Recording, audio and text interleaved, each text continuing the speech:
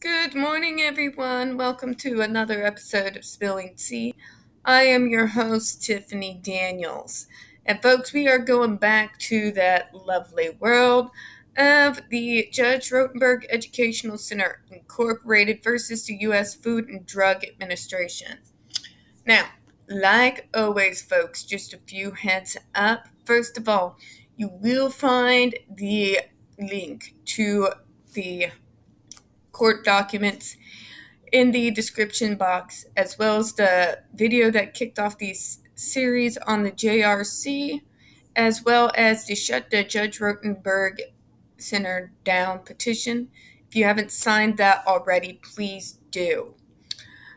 Also, while we are discussing the JRC, we do include, depending on the video, vivid descriptions or actual footage of disabled people being tortured and abused. If you have young children present, please, at the very least, wear your headphones. Also, folks, if I trip over any legal jargon, or if I trip over my words because it's 5:52 a.m. in the morning, if you hear the beeping of my microwave because my tea is ready, please, first of all, ignore that and my apologies in advance. all right, so without further ado, we are on to C, the FDA's Exemption 6 withholdings. Excuse me. The plaintiffs also contest the sufficiency of the defendant's withholdings under Exemption 6 which permits agencies to withhold personal and medical files and similar files, the disclosure of which would constitute a clearly unwarranted invasion of personal privacy. Okay, so I was wrong before, but they do indeed want to violate HIPAA and get a hold of these people's medical information. Why am I not surprised? Let's hear their bullshit reasoning, shall we? FOIA's strong presumption in favor of disclosure is at its zenith in this Exemption 6 analysis. Review of personal privacy withholdings under Exemption 6 proceeds in stages. Stage 1 requires the court to determine whether the records are personal, medical, or similar files covered by Exemption 6. If the records are such files, in Stage 2, the court must then determine whether the disclosure would constitute a clearly unwarranted invasion of privacy. Duh! They're medical records. Internal quotation marks omitted. Stage 2 embeds its own two level review. The first inquiry is whether disclosure would compromise a substantial, as opposed to de minimis, privacy interest. Next, if disclosure would infringe a substantial privacy interest. The privacy interest must be balanced against the public interest in the release of the records. Only one public interest matters the extent to which the disclosure would serve the core purpose of the FOIA, which is contributing significantly to the public understanding of the operations and of activities of the government. Oh boy, I guess just throw government paranoia in there and we're all good, right? Kill me. It's too early for this level of stupidity. Emphasis and alterations in original. In other words, disclosure of government records under FOIA is meant to help guide the public stay informed about what the government is up to. AAILA. For Exemption 6, the DC Court Circuit has put the burden on the agency to establish that any withheld records meet the statutory balancing test. So they have to prove that coughing up the medical records of the the people that testified against your skin shock devices is an invasion of personal privacy. You you would think that would be automatic, right? The defendants have applied Exemption 6 to personal or medical files that identify JRC patients. Reply at 31. As to step 1, the defendants correctly state that Exemption 6 applies to those records because the statute explicitly covers medical files. Exactly. For step two, the defendants contend that releasing identifying information would constitute a clearly unwarranted invasion of privacy, as well as a threat, folks. These folks are known to go and intimidate people. They torture people, for Christ's sake. Do you really think it's beyond them if they were given names of those who choose to, to not cough them up during the panel, that they wouldn't go and find them and try to persuade them to change their minds publicly? God. And the public has no apparent interest in gaining access to medical records of individual JRC patients. Alternatively, the defendants assert that the public's interest in disclosure yields to the privacy interest. People, what the JRC does best is they come at it like they're all innocent and they just want those medical files so that they can prove that their so-called treatment doesn't have any long-term effects, right? That they're trying to push themselves as the completely misunderstood innocent party who is the only one out there in the world who can help these poor children. That is what they're putting out there, right? But here's the thing if they get a hold of those medical records, records, they will just simply use them to defend their position by look, see, they're violent, they're this, they're that. It's ableism in a nutshell. It's using one's medical history to blame the victim. We've seen it all before, right? And that's not even just the least of the nasty crap that they would do. It also would be, well, they would use it for witness tampering to find the people that testified against them that choose to remain anonymous. They got access to those medical records, then yeah, they got access to it all. So, there's also that. Okay. Let's read this little tad bit here. The defendants stress that in Carter versus Department of Commerce and Salas versus Office of Inspector General, the plaintiffs bore the burden of establishing a public interest in disclosure more powerful than the countervailing privacy interests. Carter merely held that requesters had not rebutted the agency's explanation as why disclosing certain identities would infringe a privacy interest that outweighs the public interest in disclosure. When in Salas, a judge on this court placed the burden on the requester to articulate a public interest sufficient to outweigh an individual's privacy request, and added that the public must, interest must be significant. The support for those propositions came from the National Archives and Records Administrative versus Favish.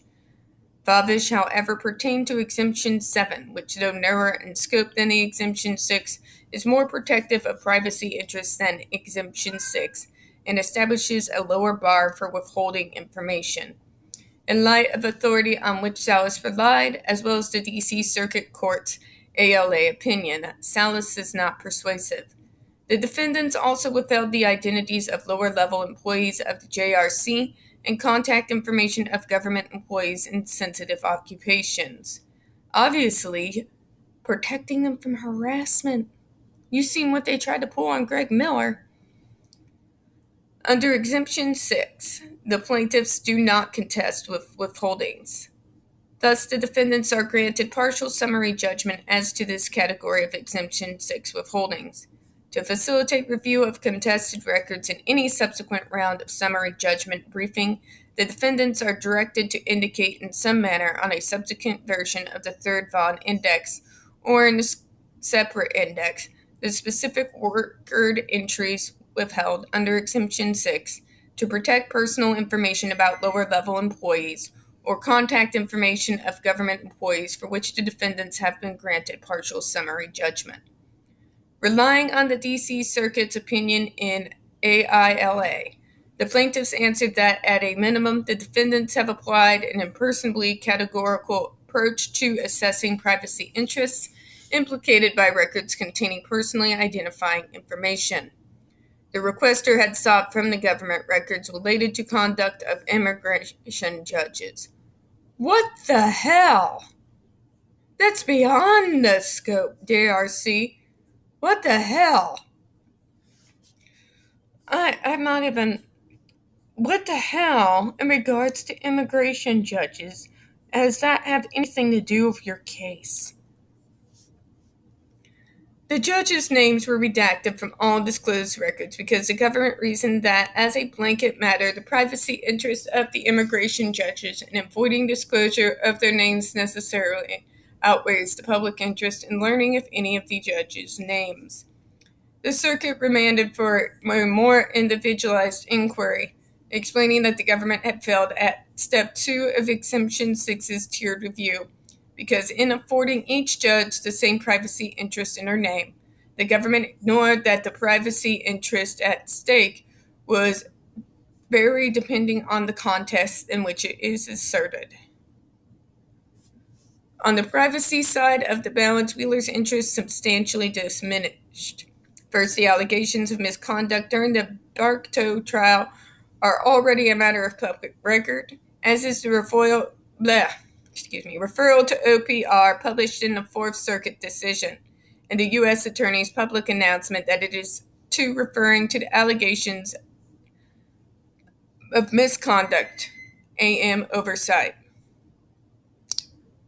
GSA's Exemption 6 redactions obscure which of the publicly named PTT members were re- referenced in or included on certain emails, even though those names are already out of the bag and are no longer subject to a significant protectable privacy interest. Really? For the immigration judges, given the variety and types of complaints and circumstances of individual immigration judges, not every judge has the same privacy interests at stake, and not every complaint would be equally enlightened to the public about what the government is up to. You see, they're building on this idea of paranoia about we gotta know what our government is up to. This is overreach. They can't control us and just take away these devices that are, again, torturing children. Sure enough, the plaintiffs have identified ways in which government's assessment of the competing public and private interest papers over important context for records related to at least five people whose names have been redacted from the produced records. First, several withheld records identify former JRC patients. Importantly, for privacy interests at stake, some former JRC patients have been very vocal about their experiences at JRC, including speaking with media outlets, testifying at the April 2014 panel meeting, and posting videos about JRC to YouTube. Yet none of the index entries describing documents that identify former patients appreciate that the patient's public comments might diminish their interest in guarding their identity. That context must be considered. And not everyone who testified who was a former JRC patient was out there in the media. God, the hell's wrong with you people? Well, they're out there and they're talking about it, so their rights don't deserve to be protected. They may be out there talking about it, but they're not sitting there drawing a roadmap to where the hell they live. They still have a right to privacy, too. Similarly, a fourth individual for whom the defendants have redacted identifying information submitted a consumer complaint to the FDA about the JRC's use of GED and declared an intent to share this issue with social media such as Facebook to make the public aware of this issue. Yet the Vaughn Index entry for this record says no more than that releasing the client's name would constitute a clearly unwarranted invasion of personal privacy. Second index. Missing from that analysis is any acknowledgement that the complaint expressed an intent to publicize his or her views. Oh, let's not let the public know what kind of monsters you are. But oh, please just give us the medical records where we can have an address. While the defendants need not scour the internet to determine what public comments an individual identified in a responsive record has made, the government cannot meet its burden under Exemption 6 by ignoring information sitting on the face of the record. Penalize the victims again, of course. The JRC playbook. Finally, the defendants redacted the name of a former JRC employee who agreed to be interviewed for a piece that ran on CBS. The JRC's employee's name is reducted from an email that references the employee's participation in the CBS story, the corresponding index entry does not discuss the individual's privacy interest, let alone account for how the invited publicity might affect that privacy interest.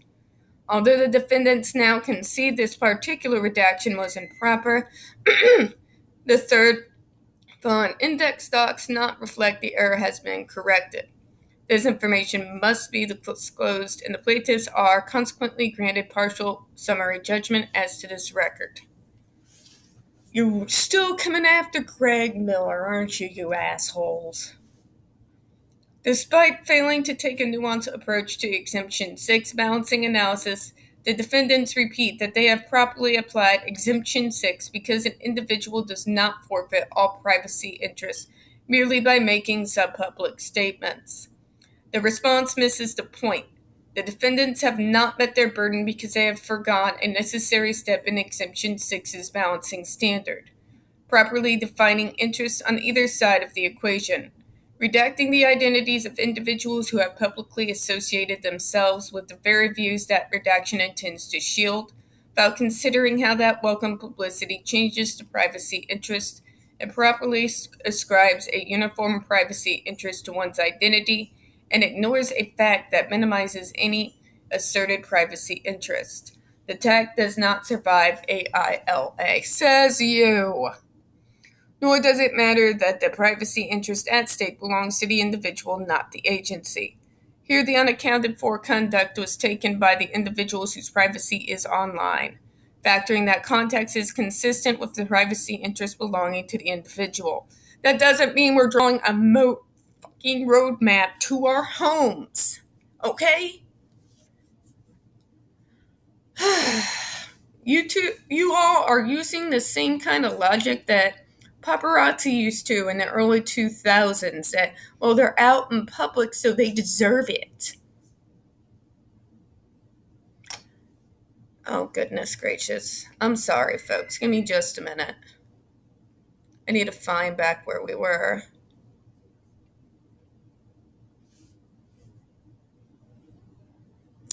Okay, here we go. Despite failing to take a nuanced approach to the Exemption 6 balancing analysis, the defendants repeat that they have properly applied Exemption 6 because an individual does not forfeit all privacy interests by merely by making public statements. Thank you. That response misses the point. How? How does it miss the point? Please tell me why you deserve to have their addresses. The defendants have not met their burden because they have forgone a necessary step in Exemption 6's balancing standard, properly defining the interests on either side of the equation. I think they've done it quite well. It's 126 pages long. Redacting the identities of individuals who have publicly associated themselves with very views that redaction intends to shield Oh, because they influenced them. You know, with our invisible millions, we were we bought this band basically. Whatever, whatever, Karen. Me and my broke ass with my tiny little apartment. Yeah, we totally bought off the FDA. God. About considering how publicity changes to privacy interests and properly ascribes a uniform privacy interest to one's identity, it ignores the fact that minimizes any asserted privacy interest. The tag does not survive AILA, nor does it matter that the privacy interest at stake belongs to the individual, not the agency. Here, the unaccounted for conduct was taken by individuals whose privacy is on the line, factoring the context is consistent with the privacy interest belonging to the individual. The defendants must also take a more nuanced approach to assessing the public's interest in the disclosure of identities. Explaining the public interest disclosures also might vary in substantial measure depending on context. In I, AILA, the circuit explained that the public interest would likely be more pronounced in the case of a sitting immigration judge who continues to make decisions as an employee of the Department of Justice than in the case of a former judge. AILA that as to public interest in records of investigations into a prosecutor's misconduct. Oh, you're going there. Okay. a new rabbit hole. An unsubstantiation, uh, an unsubstantiated allegation? Really?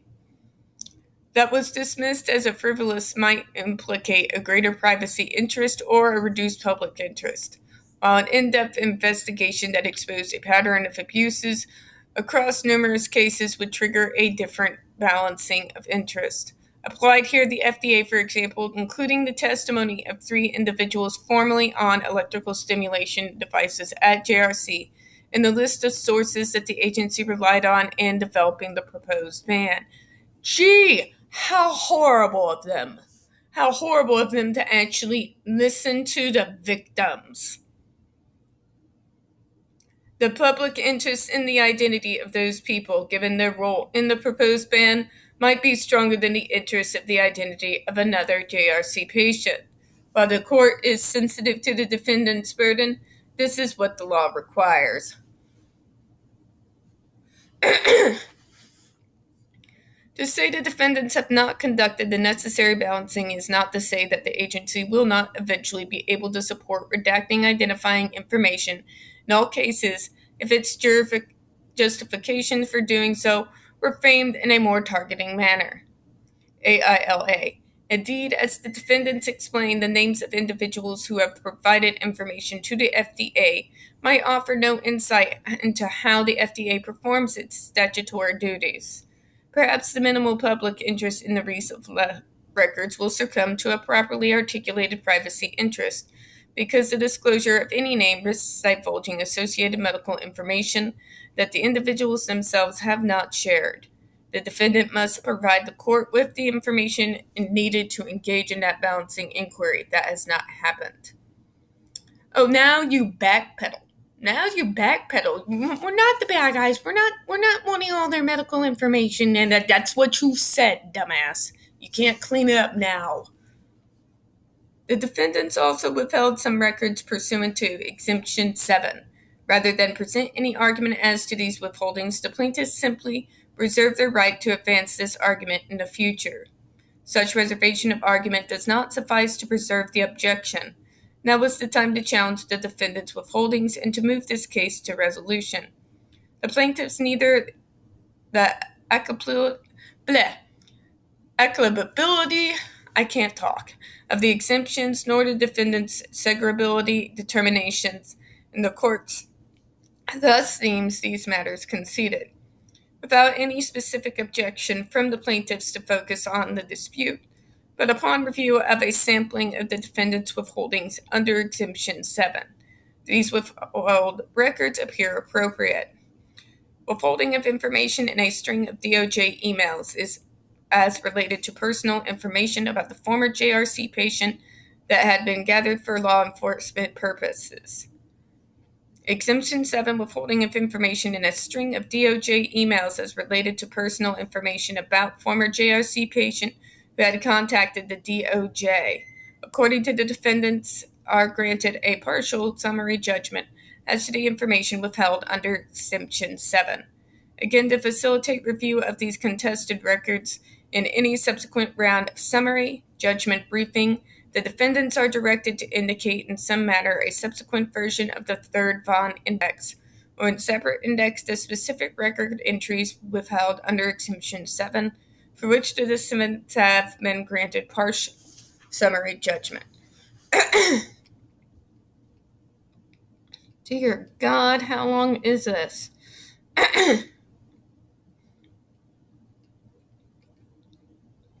All right, folks, give me one moment. This is going to be a little bit longer video than usual, so I need to get my tea. I'm losing my voice a little.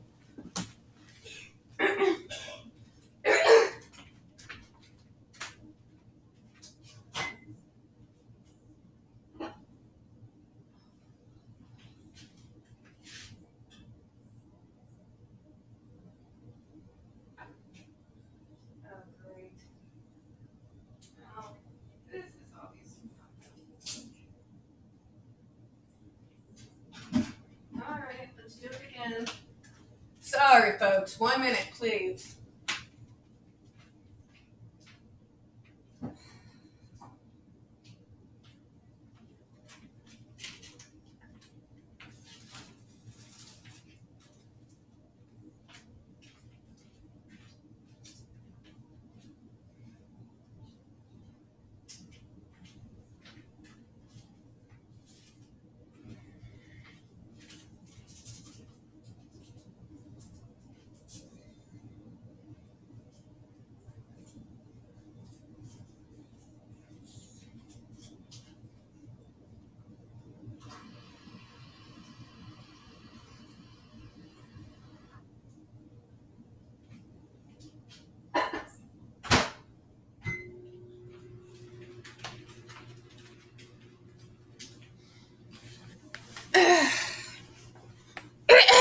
Remind me to never do things when I'm half awake, folks.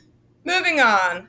As for the last issue, segregability, FOIA requires that any reasonable segregable proportion of a record shall be provided to any person requesting such record after deletion of the portions which are exempt under this subsection. Producing segregable information is an essential ingredient to sufficient FOIA production, and before approving the application of the FOIA exemption, the district court must make specific findings of segregability regarding the documents to be withheld. I feel sorry for the poor bastard who had to write this. For those findings, the agencies are entitled to a presumption that they compiled with the obligation to disclose reasonably segregable material. Even with that presumption, the agency must provide a detailed justification for its non segregability, but need not provide so much detail that the exempt material would be effectively disclosed. Excuse me. Affidavits attesting to the agency's line by line review of each document withheld in full, the agency's determination that no documents contained releasable information which could be reasonably segregated into the non releasable portions in conjunction with a Vaughn index describing the withheld records suffice. The defendants have provided a sufficiently detailed justification the defendants have submitted eight affidavits, each certifying to the represented FDA or HHS component performance of a careful page by page, line by line review of all records. Thank you. The same affidavits confirm that all reasonably segregable information has been disclosed. Corroborating those accounts, those defendants have partially released 1,340 pages of records. Largely, the plaintiff's segregability arguments are repackaged from their arguments against the application of the deliberative process privilege. For example, the plaintiffs argued that the factual and background information contained within these records withheld under the deliberative process privilege should be released. Given the fact that court is not issuing a ruling on the deliberative process privilege expect as to the draft records, Segregability issues as to those withholdings cannot be resolved at this junctive. Thus, the court finds that as to the draft records withheld under Exemption 5 is deliberate process privilege, records withheld under Exemption 5's attorney client privilege, records withheld under Exemption 6 to conceal personal information about low level JRC employees, and the contact information of government employees and the records withheld under Exemption 7, the defendants have released all segregable information. Through no fault of either party, this case is erroneous. Indeed, the plaintiff's massive FOIA requests returned over 24,000 responsive records, to say nothing of the 60,000 records that the CDRH is in the process of producing. Such broad requests are understandable given that the records relate to the agency's regulation and possible ban of a treatment practice that the plaintiffs adamantly believe in. I don't know how they could possibly believe in it. How can you believe that torturing children is going to make them better? Of course, the volume of records is so substantial only because the defendants have been diligently considering the need for regulation for quite some time. Nevertheless, issues relevant to this litigation have not been presented with clarity, and neither party is blameless. On the defendant's side, too much has been painted with too broad a brush. too broad, my ass. While the end, at least for now, of the defendant's regulatory work is the proposed ban, the defendants have made an awful lot of intermediary decisions to get from the point at which the JRC did not have to obtain 510K clearance for the GED to proposing a rule that would have banned the GED altogether. Fuck them. They need to be banned. Seriously? Because if you torture the kids with autism, they'll get better. Burn that building to the ground. In making with those decisions, the FDA consulted with many individuals, including former JRC patients. Certainly, as a baseline, all JRC patients have a privacy interest in their medical history, but some individuals can exhibit behaviors reflecting a lesser interest in maintaining that privacy. So they don't agree with what you did to them. Therefore, they should have a lesser right to privacy because they called your ass out on it. The plaintiffs have done no better, identifying general problems with the defendant's production but offering only a smattering of examples of those reported problems, which fall short of the obligation under the federal rule of civil procedure. Consequently, the plaintiffs have provided insufficient precision as to how many records, or which records, the plaintiffs are actually challenging, other than the relatively small number from the Volmus Vaughn Index indices that are specifically cited in the briefing. Shortcuts, especially with a large body of records, are tempting, and in these cases, both parties have taken some.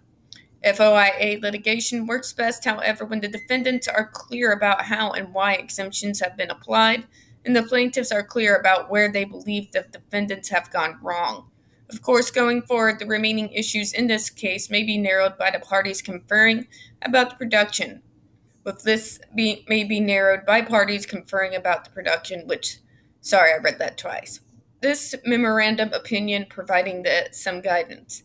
If these parties require another round of summary judgment briefing, they must do better focusing on which withholdings are still contested. To that end, any subsequent Vaughn index must plainly be identified records in dispute. So, long and short of it, they are contesting those former JRC students, victims, whose videos we've seen, those who have come out and publicly condemned the school for the torture and the abuse that they put those students through. Well, the JRC believes that because they spoke publicly, that they don't have any right to privacy, that their medical information and their contact information should be made available to them. That's the long and the short of it. It's bullshit, folks, and it's bad for you. And I swear to God, if they get away with this, let's just say the outcome won't be quite what the JRC think it's going to be. But that's all we have for now before I go on to a full blown rant. Um, as always, folks, we don't get very many views on this channel. The few that we do get do tend to get removed from time to time. Don't forget to hit that like button, hit subscribe. Don't forget to hit the comments. I do appreciate your time this morning, and as always, folks, we here at Spilling Tea hope you have a good one. Thank you. Bye bye.